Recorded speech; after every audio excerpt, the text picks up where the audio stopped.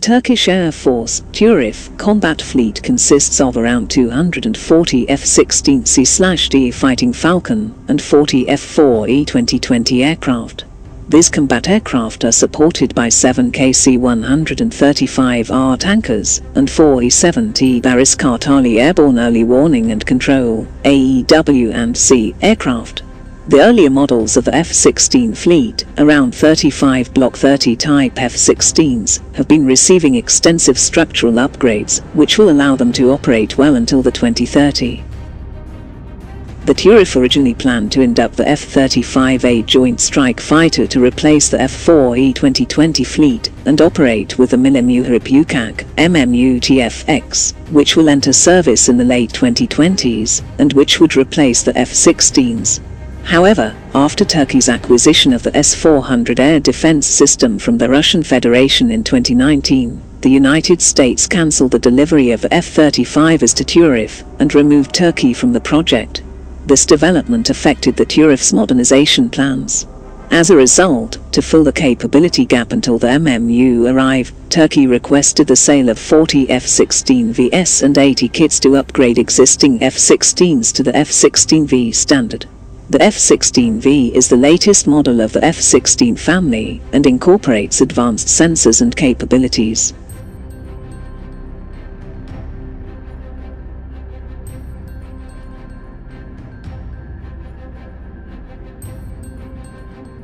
The TurAF armed drone fleet consists of the Bayraktar Technologies Bayraktar Akinci and Turkish Aerospace's Anka S. The Akinci has recently started entering service, and with its 1,500 kilograms payload carrying capacity and BLOS communication, significantly boosted the TurAF's ISTAR and strike capabilities. The Kızılelma, especially when deployed as a loyal wingman to the MMU, presents itself as a force multiplier for the TurAF. A number of Kızılelmas, operating jointly with an MMU under the control of E-7Ts and other command and control assets, can undertake long-range precision strikes, electronic warfare, and CAP missions over a very large area around Turkey or in overseas missions. Furthermore, Baykar Technology states that the Kızılelma will be carrier capable, which suggests that the aircraft is also under consideration by the Turkish Navy as a planned aircraft carrier. Without doubt, the Kızılelma project comes with many technological and engineering challenges, hence earning its meaningful name. Many of these challenges are also valid for the world's leading defense contractors, since they incorporate emerging or disruptive technologies and innovations. Turkey's capabilities and experience in drones and the dynamic nature of its defense industrial base may be an advantage in overcoming the mentioned challenges.